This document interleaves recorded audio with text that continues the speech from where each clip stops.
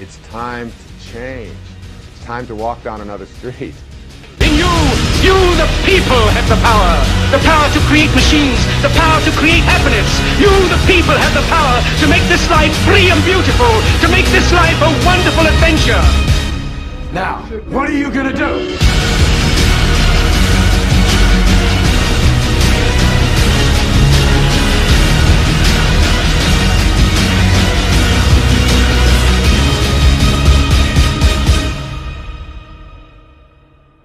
Because limits, like fears, are often just an illusion.